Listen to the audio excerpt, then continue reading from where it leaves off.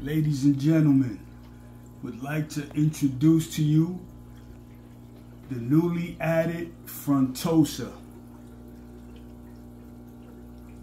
They call Frontosa because of the bump that they grow on top of their head. Their forehead grows a huge bump. Very nice looking fish. It's from Africa. Grows up to one foot. Let's hope not, but that's what it's told, what it, what they tell me. The Frontosa. Just did a tank cleaning, so you may see particles floating around. Very attractive fish. Look at my guy over here, the titanium flower horn.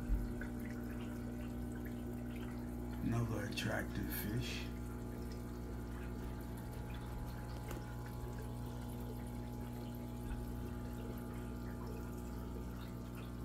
Gotta put another ornament back in the tank. Here goes baby red devil. She's growing. Calico still kicking.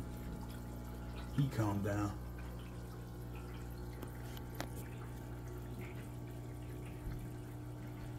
That's about it.